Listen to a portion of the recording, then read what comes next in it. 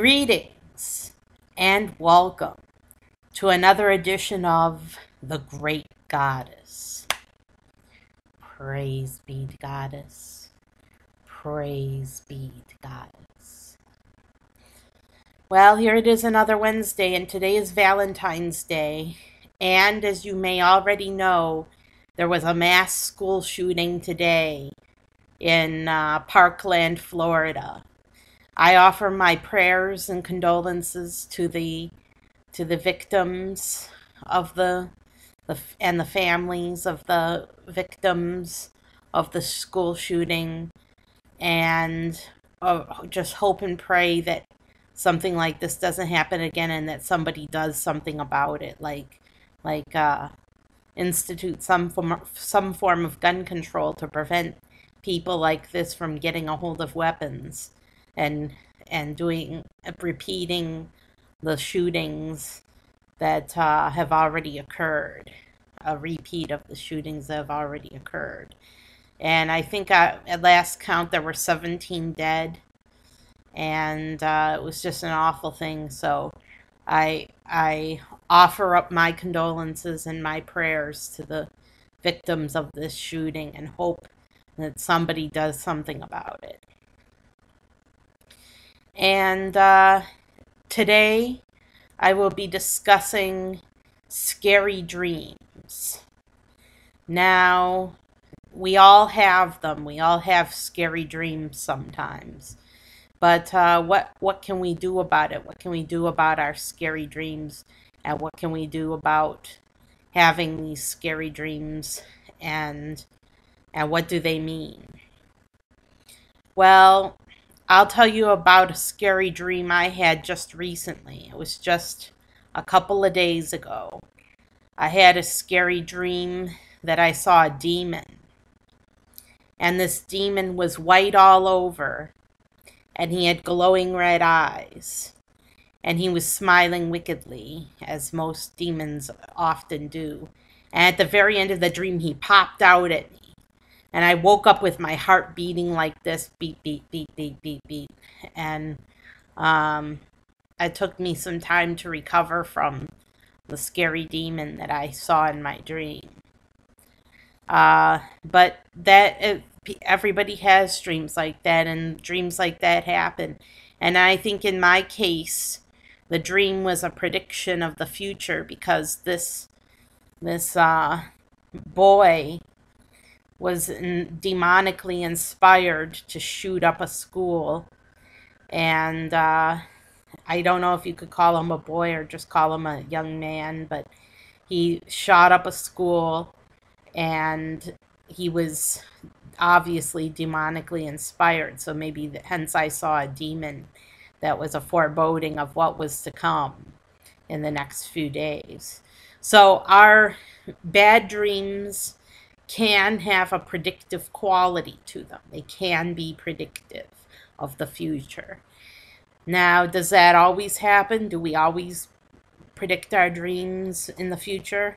No, but we uh, we uh, we can sometimes be predicting the future, but not always. Not always. Sometimes we just have scary dreams for no apparent reason, and we'll we'll never know why we had a scary dream.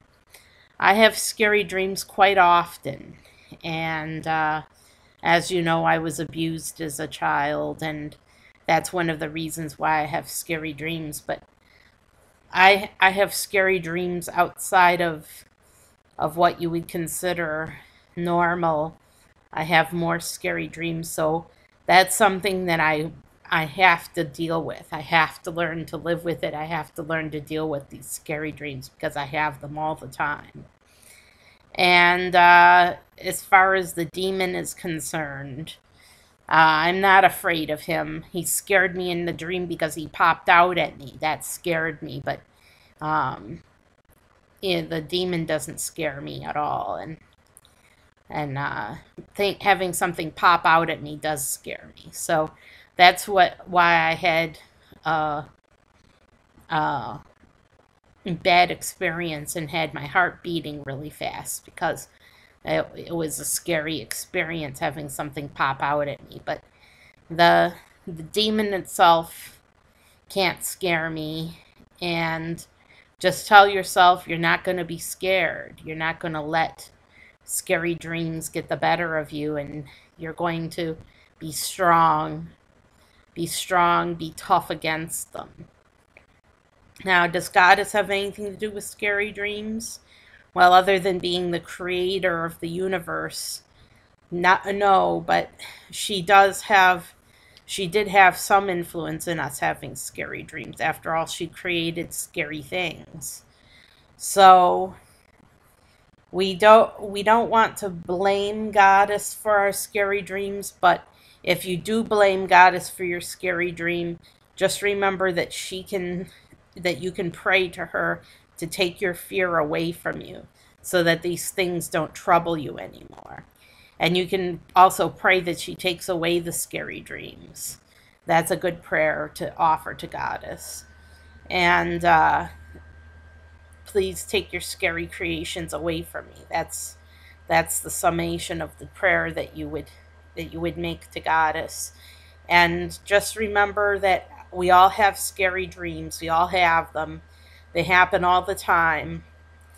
And sometimes, like mine, they predict the future, sometimes not. Sometimes they're no predictor of the future, they're just something that's scary that upset you.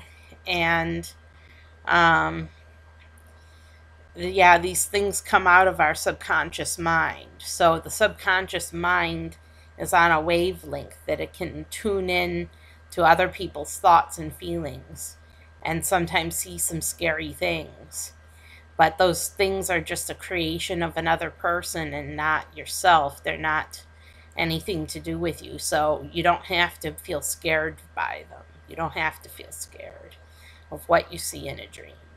And uh, sometimes the dreams are some scary dreams are something that we've created ourselves. We've created something out of our basic fears that we ha- all have. Something out of our basic fears, we've created something scary. So that's another thing to keep in mind that scary dreams can be a reflection of something scary that's in our own psyche. So, my best advice for scary dreams is to be tough, tough them out, and try to think more pleasant thoughts so that you don't have scary dreams. That's the best advice I can offer, but I can't offer any advice beyond that because it's just it's your own scary dreams and you, there's nothing you can do about them except to be prepared for a scary dream when you have one i'm sarah jane Alphawolf signing off uh, have a terrific week and uh, don't let scary dreams trouble you